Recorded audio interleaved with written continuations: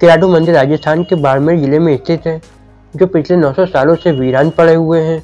इन मंदिरों को वीरान होने के पीछे कहा जाता है, एक सिद्ध साधु का श्राप है। लोक कथाओं के अनुसार, करीब 900 साल पहले परमार वंश यहाँ पे राज किया करते थे।